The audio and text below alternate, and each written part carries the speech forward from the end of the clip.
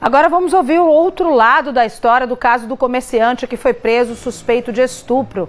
Agora você vai ouvir a defesa deste homem que está preso. Segundo o doutor Brito, a doutora Fernanda, o seu cliente está bastante debilitado com toda essa situação. E é os advogados que irão agora trazer detalhes. Na verdade, Marcos Couto, é, nós gostaríamos, em primeiro lugar, de agradecer por essa oportunidade da gente estar podendo, pela primeira vez, estar apresentando aqui a defesa do senhor Rafael, que está sendo acusado supostamente de um crime de estupro Porém, Marcos Couto, o que nós gostaríamos aqui hoje é de falar a verdade e pedir que a imprensa e que as pessoas que andam divulgando é, tal é, é, informações que tenham cautelas, porque existe uma família do outro lado que está sendo dilacerada, porque o que está sendo divulgado, na verdade, não é a verdade. Já vi reportagens aqui que diz que a menina tem 14 anos e, na verdade, a menina tem 16 anos de idade.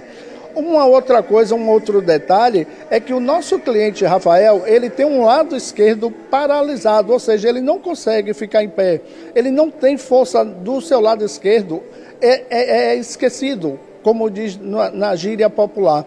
Então nós precisamos ter cuidado com essas informações, porque está tendo muitas distorções. É, falaram que o Rafael sumiu, fugiu, foragido. Nada disso aconteceu. Eu mesmo, como advogado, aconselhei que ele saísse daqui porque ele já tinha sido agredido pelo pai da suposta é, é, vítima. E, na verdade, essa agressão, além dessa agressão, houve é, uma divulgação de que ele era estuprador de menor.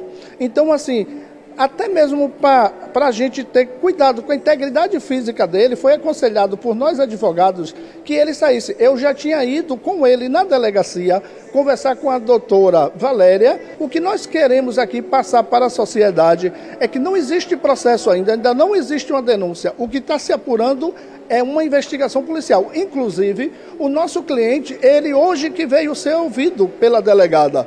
Então, o que, que acontece? Preso ele está preso porque houve um pedido da prisão preventiva porque achavam que ele estava fugido, mas ele não fugiu. Eu e minha colega aqui, como advogado dele, pedimos para que ele saísse daqui para a gente é, resguardar a, entregue, a integridade física dele. A gente não sabe qual vai ser a conclusão da delegada. A delegada pode chegar amanhã, ela agora tem um prazo de 10 dias para concluir o inquérito policial.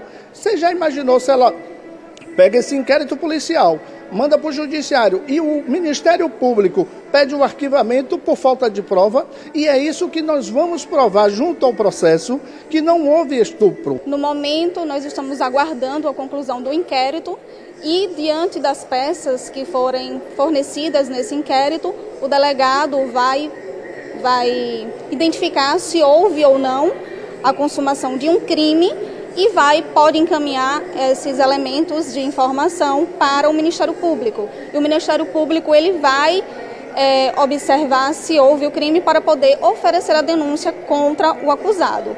Então, a partir desse momento, a partir de quando for iniciada a ação penal, é que serão colhidas provas, será ofertada ao acusado o contraditório, porque por enquanto está em fase de inquérito policial. Então, o que se colhe no inquérito são elementos de informação, não são provas em si.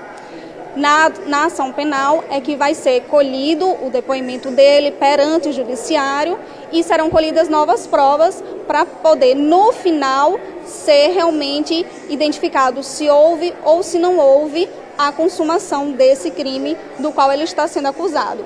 Inclusive, nesse processo, não existe ainda laudo pericial para informar se houve ou se não houve a conjunção carnal.